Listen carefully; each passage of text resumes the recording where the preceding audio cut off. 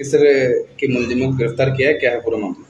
ये दिनांक तीन छः दो हज़ार तेईस को रात्रि में ग्यारह बजे के आसपास चंद्रोदय सी ब्लॉक में सी सेवेंटी वन में अज्ञात चोरों द्वारा एक ताड़ा तोड़ के, मकान का ताड़ा तोड़ के और अलमारी का लॉकर तोड़ के, एक तो एलईडी टीवी और पंद्रह बीस हज़ार रुपये केस ले जाने के संबंध में दिनांक चार छः दो हज़ार तेईस को थाना अजापर प्रकरण संख्या दो सौ तैंतीस ऑब्लिक दो हज़ार तेईस अपराध धारा चार सौ सत्तावन तीन सौ अस्सी आईपीसी नकबजनी का प्रकरण दर्ज हुआ जिसमें हम्म, आसपास के वीडियो फुटेज और जहाँ घटना हुई थी वहाँ के वीडियो फुटेज लेके वहाँ से घटनास्थल से बीटीएस उठाए गए साइक्लोन सेल की मदद से।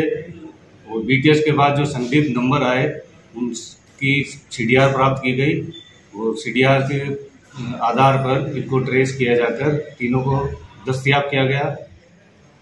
और जो इनके नाम पहला है, कमलेश बेरवा सन ऑफ़ स्वर्गीय किशन लाल और जाति इसकी बेरवा है। निवासी है ये अपने फूलिया कला थाना क्षेत्र में रहने वाला है। दूसरा है इसका भाई सत्यनारायण उर्फ़ सत्तू।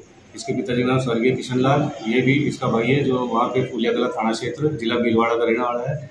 तीसरा है दीपू बेरवा उर्फ़ दीपक।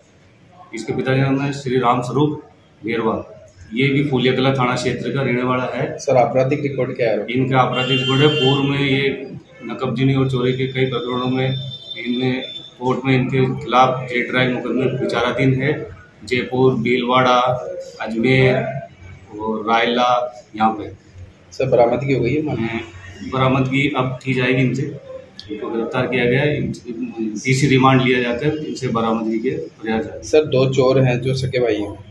दो चोर सगे भाई है। उनके फादर की क्या हिस्ट्री है। उनके पिताजी मर की मृत्यु हो चुकी है छः माह पूर्व। वो पूर्व में सरिया चोर गिरोह के वो थे। काफ़ी सारे उनके खिलाफ प्रकरण दर्ज थे। ऐसी जानकारी में आया है संबंधित थाने ने बताया। था भीलवाड़ा में? जी भीलवाड़ा में। नहीं भीलवाड़ा के फूलिया कला के रहने वाले हैं। तो उनके भी ये सरिया चोर संबंध में राजस्थान में कई जगह प्रकरण दर्ज था ऐसे थाना वालों ने बताया आपका नाम? मेरा नाम Surendra Singh head constable one seven three police थाना रामगढ़ ठीक।